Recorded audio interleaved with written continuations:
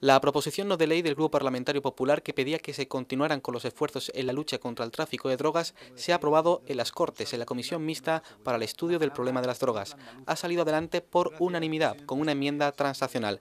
El encargado de defenderla ha sido el senador del PP y alcalde de Algeciras, José Ignacio Landaluce. Esta tierra de oportunidades que es el campo de Gibraltar también tiene un problema y es que también por ahí penetra el tráfico de drogas eh, a gran escala. Eh, sabemos que Algeciras y el campo de Gibraltar es de las ciudades más seguras de España y de Europa, pero tenemos un problema de narcotráfico porque lógicamente por ahí es por donde transitan y es donde están ubicadas las mafias de la droga. El senador ha defendido la necesidad de concretar el plan especial presentado por el Gobierno a final de julio.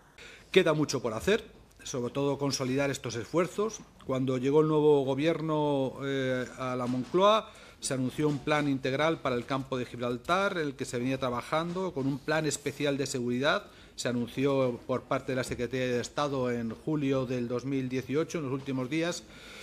Era un plan que incorpora una lluvia de 7 millones de euros en lucha contra eh, la droga. Pero nosotros deseamos, queremos, la sociedad civil quiere saber, las fuerzas y cuerpos de seguridad del Estado, los sindicatos, todos los representantes de la Guardia Civil y de la Policía Nacional quiere saber esos 7 millones en qué se traslada. En número de efectivos, medios y vehículos para Guardia Civil, Policía Nacional y Vigilancia Aduanera.